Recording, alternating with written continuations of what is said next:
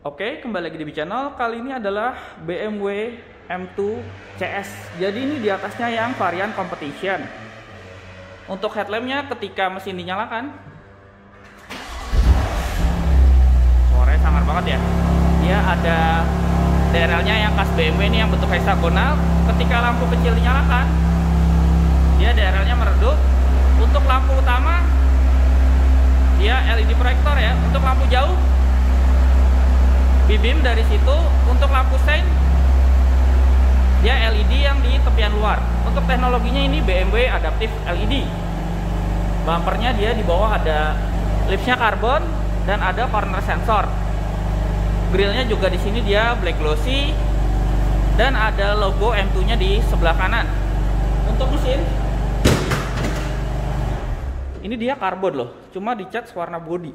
Dia kelihatan dari baliknya nih masih karbon semua nih ya ini enteng banget kan mesinnya mesinnya persis sama kayak yang digunakan M4 Competition yang kodenya S55 sebelumnya juga M2 Competition pakai mesin ini cuma outputnya diturunin. Kalau ini outputnya dia bener-bener sama kayak M4 Competition. 450 horsepower dengan torsi 550 Nm kalau M2 standar kan dia pakai mesin N55 ya yang outputnya 365 horsepower M2 competition dia outputnya 410 horsepower. Ini lebih gede lagi. Ini juga dia strut barnya karbon ya. Untuk ruang mesin di sini sudah dicat kap mesinnya nih yang karbon warna hitam sudah hidrolik juga. Yang nggak ada tentunya di sini perdam. Dan di sini juga ada intake-nya lagi ya dari atas yang tembus ke bawah. Untuk pelek nih warnanya gold finishingnya dengan Cakramnya model drill, kalipernya M. Bannya Michelin Pilot Sport. Profil depan belakang beda lebar tapak. Yang depan ini pakai 245 35 R19. Di samping juga ada logo M2-nya ya. Spion juga yang aerodinamis, karbon, atap juga karbon. Window line-nya dia black glossy. Handle-nya model tarik sewarna body. Untuk interior dominan warna hitam ya ini juga frameless pintunya. Bahan di sini dia soft touch yang ini bahannya sweat. Dengan stitching warna merah. Yang di armrest yang kulit power window all auto electric mirror sudah electric retract door handle silver. Yang ini karbon dia premium speaker juga ya Harman Kardon. Di bawah ada cup holder dan door pocket. Transmisi Matic ya ada opsi yang manual juga untuk yang Matic ini harganya 2,7 miliar nih unitnya ada di BMW Sunter. Untuk kontak marketing bisa cek di description. Untuk buka kap mesin dia ada kali tarik. Di sini untuk buka bagasi, yang ini laci penyimpanan tertutup ya, soft opening, dilapis bahan sinis budro. Untuk saklar headlamp dia model kena putar.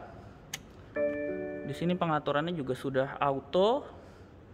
Yang ini dia ada dimmer. Ini fog lamp belakang. Kisi AC dengan framing silver. Ini juga bisa dibuka tutup. Bahan dashboard dia soft touch. Kuncinya kayak gini. Masih sama kebanyakan BMW pada umumnya ya. Bisa buat buka bagasi juga. Sekarang kita coba start up kondisi pintu terbuka. Ini tombol start stop ini yang warna merah. Di atasnya LED start stop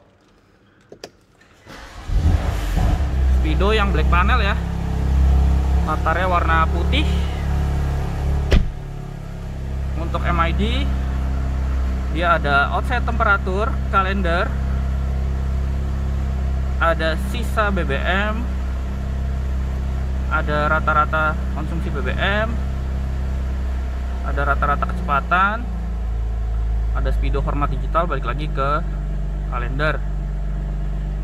Ini tadi tombol MID nya ini juga sekaligus saklar untuk auto high beam dan lampu sen serta dim.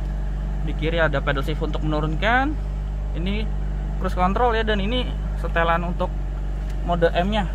Karena dia bisa disesuaikan. Untuk mesin ada efisien sport sportless. Suspensi ada comfort sport sportless. Dan untuk steering juga ada comfort sport serta sportless. Yang bisa di save di dua tombol ini presetnya kombinasi dari ketiganya.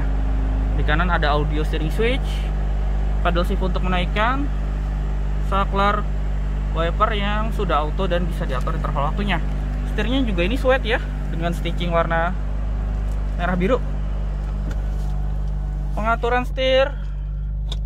Dia tilt teleskopik lengkap. iDrive nya udah yang white. Touchscreen juga ya.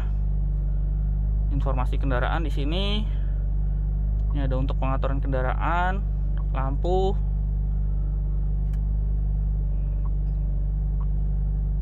ada lampu interior. Untuk ambient light cuma dua ya pilihannya klasik atau sport. Brightness bisa diatur. Untuk pengaturan kunci juga bisa di sini. Selain dari touchscreen juga bisa pakai commander di bawah. Ini yang auto lock.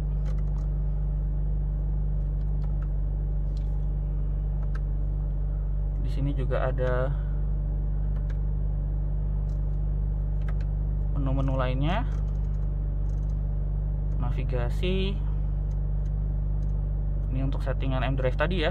Masing-masing bisa di custom termasuk mode transmisi sensitivitasnya bisa diatur.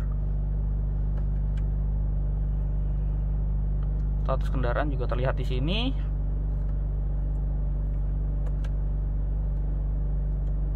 Info berkendara yang tadi ada di MID juga tampil di sini ya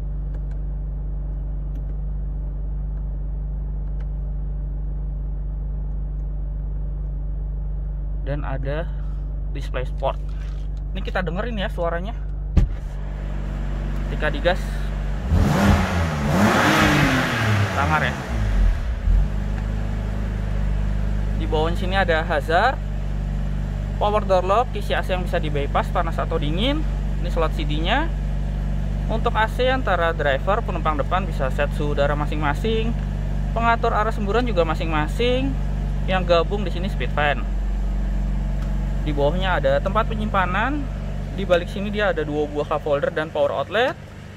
Di sini ada stability control. Ini tadi ya mode untuk mesin suspensi steering. Di sini sensor parkir. Transmisinya dual clutch 7 speed.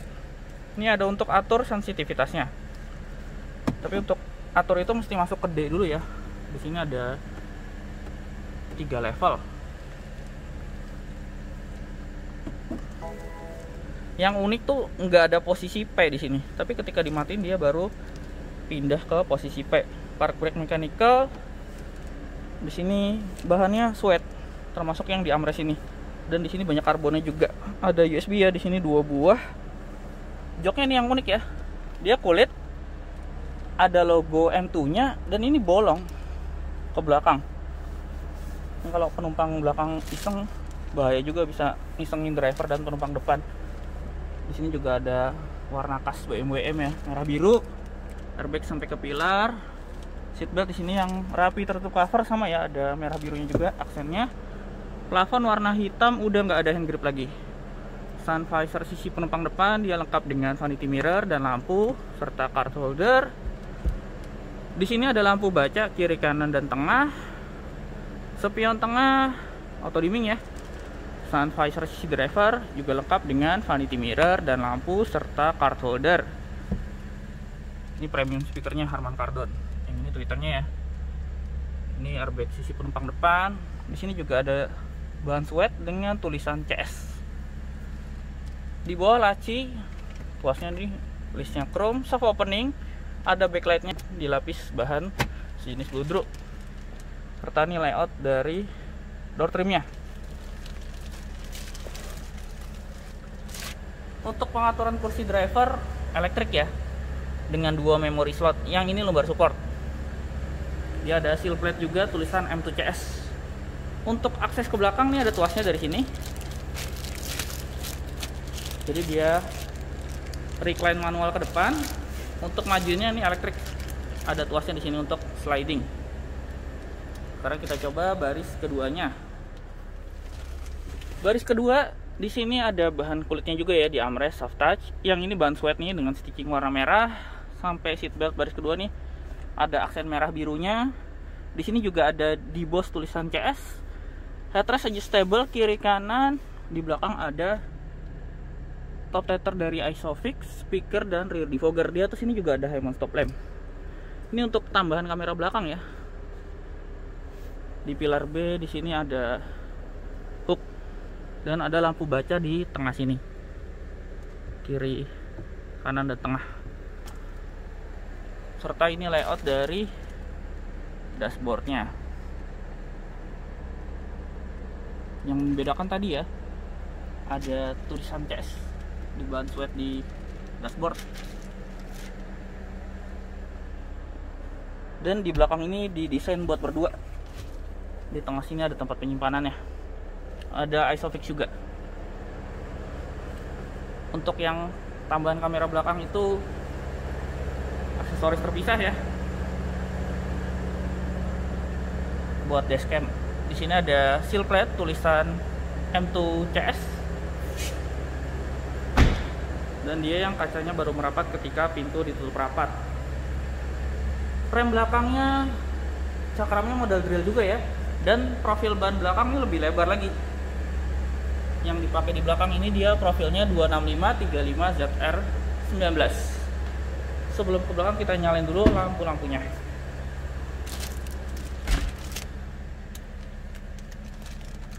Termasuk hazard. Ini ya desain stop lampnya LED bar standnya LED di bawah ada reflektor yang memanjang ke atas dan dia kuat muffler. Diffusernya juga di sini. Karbon ya.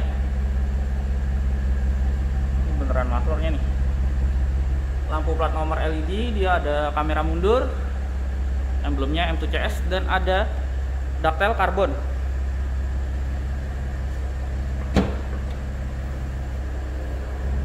untuk bagasi di sini ada power outlet ada hook. Di sebelah kanan ada kargonet tempat penyimpanan ada hook juga. Di bawah sini dia akinya dan tari perkit jadi udah nggak ada ban serep lagi. Untuk pelipatan kursi belakang bisa dari sini tuasnya. Dia kiri kanan pelipatannya terpisah ya.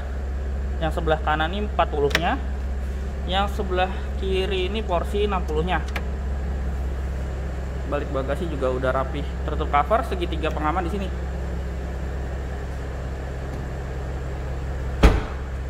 ini desainnya dari belakang secara overall.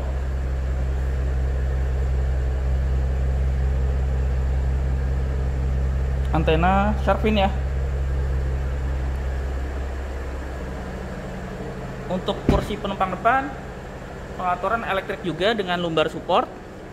Bedanya nggak ada memory seat kayak sisi driver. Serta ini layout dashboardnya dari sisi penumpang depan